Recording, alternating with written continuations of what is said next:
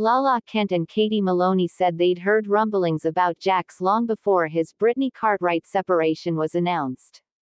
Rumors swirled about Jax Taylor before his separation from Brittany Cartwright. On Tuesday's episode of Vanderpump Rules, Lala Kent, Katie Maloney, Scheana Shay and Kristina Kelly were out to eat when speculation about their former co-star began to swirl. The conversation started when Scheana tried to explain why she believed Ariana Madix stayed in her decade-long relationship with Tom Sandoval before his affair with Rachel Leviss broke, given that the couple was going through a tough time. You don't really know until you're in it. You can't judge because you don't know, Scheana said.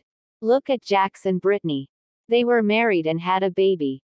I could not believe that when they did.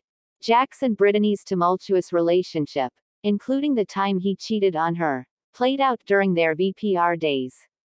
Even so, the couple got engaged in 2018, tied the knot in 2020, and welcomed their son, Cruz, in 2021.